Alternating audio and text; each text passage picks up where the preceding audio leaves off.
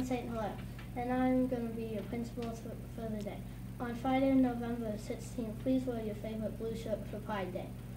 Have a great weekend.